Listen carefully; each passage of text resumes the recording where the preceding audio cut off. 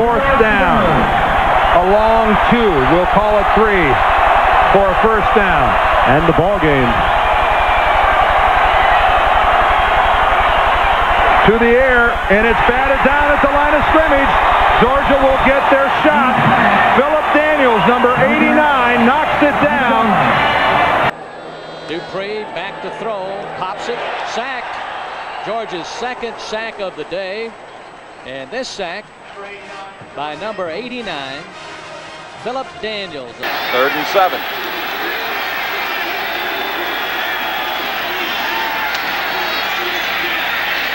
And it is knocked down.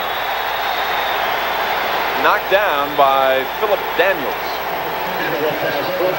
The outside linebacker.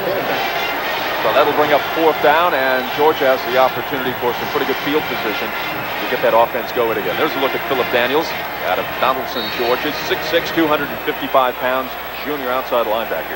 Brings us into a second and seven situation. A Wuerffel forced to scramble. There's some sort of a busted play, and Phillip Daniels comes up with another big play for Georgia. On second down and eight. Bostic, ooh, took a shot.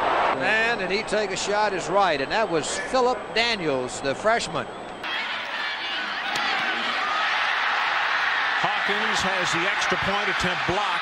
They scramble for it, and it's going to be down at the 11-yard line. 14-11 on the second quarter clock. Phillip Daniels is the man who got a hand on it. Again, out of the back, and Rhett loses the ball. No indication yet by the officials, and it belongs to Georgia. Eric Rhett will get the ball, just work over his left guard at center. Somebody gets an arm in here. That's number 89 for uh, Georgia.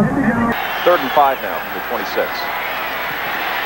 And Williamson in trouble, and he goes down. Sacked.